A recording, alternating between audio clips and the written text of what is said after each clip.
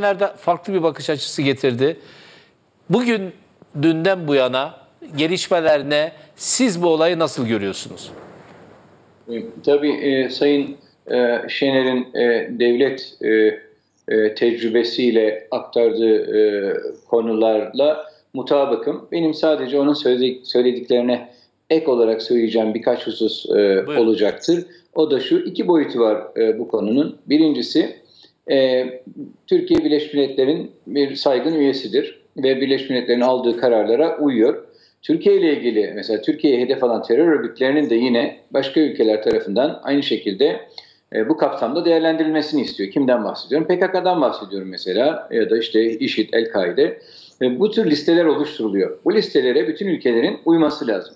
O yüzden işin bir boyutu şimdi bu kadar rahat bir şekilde yaptırım altında olan bir ismi böyle protokolle karşılarsanız e, daha sonra ileride sizin istemediğiniz bir ismin başka ülkeler tarafından karşılanması noktasında söyleyecek sözünüz kalmaz. İşin bir boyutu bu. Sayın Şener'e ben şuna katılıyorum. Ülkeler ulus, ulusal çıkarları için Türkiye'de herkesle görüşürler.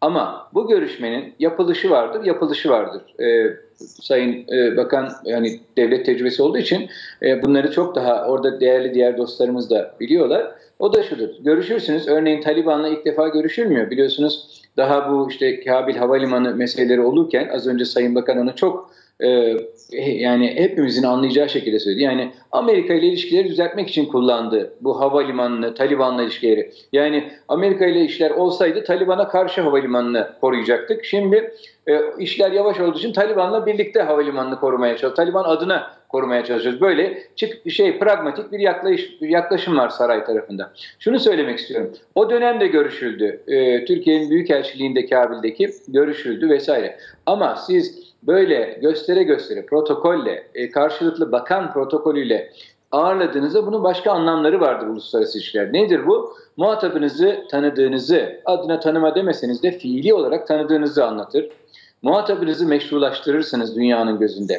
Şu anda dünya doğru, hani e, Sayın Bakan dedi ki kimse e, kınamıyor ama milyonlarca e, kadın benim ülkem, bizim ülkemizde de yani muhtemelen ya bu nasıl bir şey yani bu insanlar bir adım daha geri atmazken gelen insan e, 96-2001 arasında ülkesinde e, Eğitim Bakanı yani az önce Sayın Bakan da söyledi yani e, işte e, Sayın Çavuşoğlu diyor kız çocukların eğitimi demiş mesela Dışişleri Bakanı işte kadınların işte çalışma hayatına katılması. 5 e, yıl boyunca zaten kız çocuklarını okula göndermeyen bakan bu kişi. Yani bunu bütün dünya biliyor. Yani aslında belki resmi hükümetler kınamasa da ben inanıyorum ki milyonlarca kadın ülkemizde de dünyanın her bir yerinde kınıyordur şu anda böyle bir ismin Ankara'da devlet protokolüyle ağırlanmasını. İşte e, şöyle e, işin özü şu gelmelerinin sebebi Taliban açısından gelmelerinin sebebi şu paraya ihtiyaçları var, yardıma ihtiyaçları var, tanınmaya ihtiyaçları var. Türkiye açısından da Taliban'ı meşrulaştırarak, tanıyarak dünya gözünde Taliban'la ilişki kuran, işte onunla e, dünya adına işleri yürütebilecek bir e, bir bir aracı, araç gibi görülmek istiyor. Yani işlevsel bir rol oynamak istiyor Türkiye. E, ya da şu andaki e, yönetim diyeyim e, Erdoğan yönetimi. Ama bu bizim dış politikamızla e, yani geleneksel diyeyim tabii oradan çok kaydık az önce Sayın Bakan da söyledi. Uyumlu değil. Yani işin bir boyutu BM'nin yaptırım listesinde olan kendi resmi gazete onu da göster belki göstermeyi ihmal ettiniz. E, resmi gazetenin işte ben yine tekrar göstereyim size burada. E, şöyle kendi resmi gazetede Sayın e, e, dönemin Cumhurbaşkanı Gül ve dönemin Başbakanı e, Erdoğan'ın imzasıyla e, bu kişi e, yine sakıncalı isim. Yani sadece BM listesinde değil kendi ülkemizin listesinde de sakıncalı. Onun alınması e, ileride başka birisi de bize işte bizim için sakıncalı olan insanları kabul ettiğinde nasıl tepki gösteriyorsak tabii ki tepkiler doğuracaktır. İkinci boyutu ise böyle bir yani dünyaya daha bakın e, her hafta geçen cuma e, bir cami bombalandı. Maalesef bu cuma yine bir cami bombalandı e, Afganistan'da. Terör bitmedi. Teröre destek meselesinde ciddi sıkıntılar var. İşte dediğim gibi yani e, 33 kişilik kabinesinden kurulan Taliban hükümetinin 18'i BM listesinde işte bir tanesi hatta işte Hakkani olan ismin ne Hakkani olan e, tam hani terörün hani Hakkani ağı diye bir ağ kurarak terörün listesinde olan bir isim. E, şimdi bunlar dünyaya terörle bağlarını kestikleri konusunda bir güvence vermiş değiller.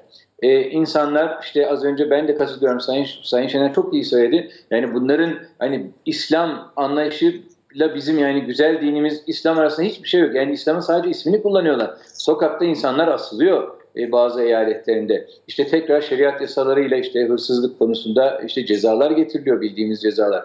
E, kadınlar işe gelmeyin deniyor. E, mesela Afganistan polisinde, askerinde kadınlar vardı %8, %10 oranında korku içinde evlerindeler. Kız çocuklarının geleceği belli değil. Sadece kadınlar değil, aydınlar, gazeteciler. Mesela şeriat kurallarına uyarsanız işte gazetecilik yapın gibi yaklaşımları var ifade özgürlüğüne, düşünce özgürlüğüne.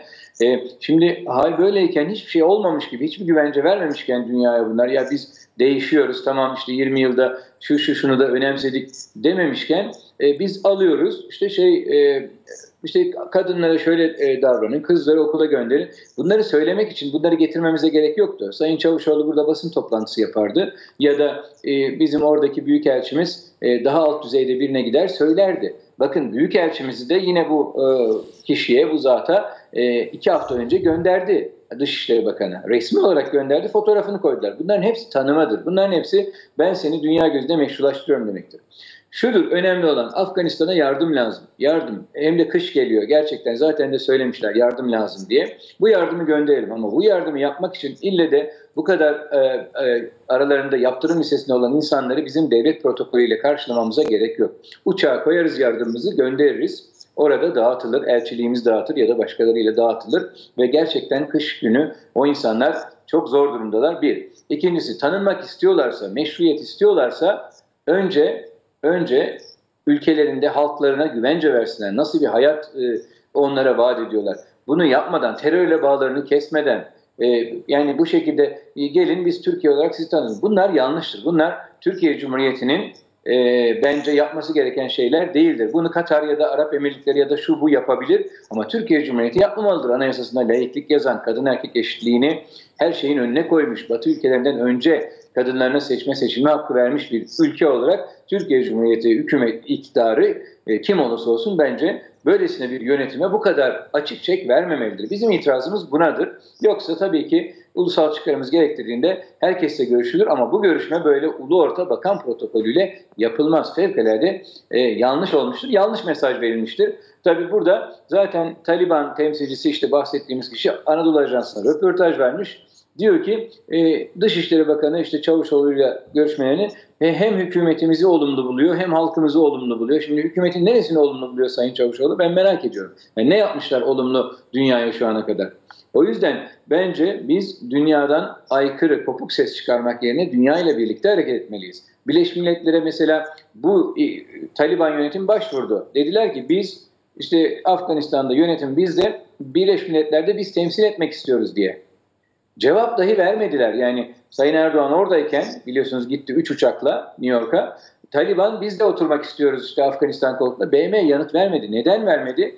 E işte oradaki evine hapsolmuş milyonlarca kadın yüzünden ya da e, geleceğinin e, ne olacağı belli olmayan milyonlarca kız çocuğu yüzünden vermediler. Güvence almak istiyorlar. Yani dünya bastırırken biz diyoruz ki siz merak etmeyin siz buraya gelin biz o baskıdan sizi kurtarırız. İşte bu yanlıştır ve bu ya hem Onlara da bir yanlış mesajdır. Bence Taliban'ı da yanlış yönlendiriyoruz. Yani onlar diyor ki ya biz biraz bastırırsak bugün Türkiye işte Katar'ı da hallettik. Yarın öbür tarafa gideriz. Bu yaklaşım yanlıştır bence. Böyle olmamalıdır. Hele hele ilkeli insani politika izliyoruz diyen yani de, söylemleri öyle biliyorsunuz geldiklerinde Sayın Bakan da hatırlayacaktır hep. E, ama işte öyle olmuyor. Gerçekte böyle olmuyor. O yüzden işin iki boyutuna e, dikkat çekmek istedim. E, şey de biliyorsunuz e, görmüşsünüzdür, okumuşsunuzdur ama anımsatayım. E, e, AK Parti Genel Başkanı ve Cumhurbaşkanı Erdoğan dünkü açıklamasında diyor ki Taliban dünyada kabul arayışı içerisinde. Henüz dünyada ülkeler kabul etmiş değiller. Ülkelerin kendilerini kabulü konusunda arayışları var. İşte bu arayış için Ankara'dalar. Ama yani bu arayışı en üst düzeyde kabul etmek zorunda değil ki Türkiye Cumhuriyeti. Alt düzeyde biriyle görüşürsünüz. Dersiniz ki sana insani yardım gönderiyorum. Doğrudur. Bizim e, halkımız cömerttir, gönlümüz şeydir. Kardeşlerimizin Afganistan'da böyle zorluk kalmasını istemeyiz. Ama siz de dünyaya kulak verin. Artık halkınıza e, hakları, özgürlükleri konusunda güvenceler verin. Terörle bağınızı kestiğinizi ispat edin. Yani İçişleri Bakanı işte hakkani terör şeyinin başındaki adam İçişleri Bakanı oldu ülkede. E, böyle bakıldığında hele hele Türkiye terörle mücadele eden, terör konusunda uluslararası destek arayan bir ülke olarak başka ülkelerden bin kez daha kılı kırk yarması lazım bu tür heyetleri kabul ederken.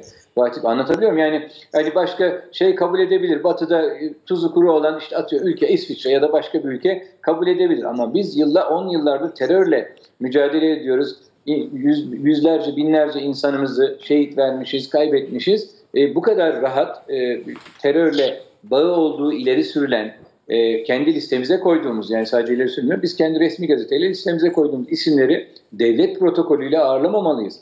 E, vereceğimiz mesaj belli. Yardım yapacağız. E, işte kendinizi, e, insanınızı hani şey davranın, saygılı davranın, hakkını, özgürlüğünü uygulayın. E, şimdi bunun için ille gelip Kızılay'ı gezmesine gerek var mı bunların? Ya da Diyanet'e gitmesine gerek var mı? İslam anlayışı, yani İslam demek istemiyorum o şey ama onların anlayışına e, yani bizim e, yani gerçekten saf, temiz, e, dinimizle hiç alakası olmayan bir anlayış bu yani Tabii. e, yaklaşım. O yüzden e, Diyanet'e geldiklerinde hani e, işte bir anda bütün yaklaşımların değişeceğini mi düşünüyoruz? Yani Ankara'ya geldiler, Diyanet işlerini ziyaret ettiler ve bir anda e, mucize oldu ve artık bütün yaklaşımı böyle bir, yani böyle bir beklenti ile içinde olan varsa hani e, Ankara'da e, şey o zaman herhalde şey olacaktır diye düşünüyorum. E, yani kabul edilemez. Ya, bu tamamen bence e, biraz e, şey algı çalışması yapıyor e, saray hükümeti. E, Taliban'la işte ilişkileri iyileştirip, dünyaya onları tanıtıp, meşrulaştırıp bundan da biz aracıyız, bu işi biz yapabiliriz, biz işte sizin adınıza Taliban'la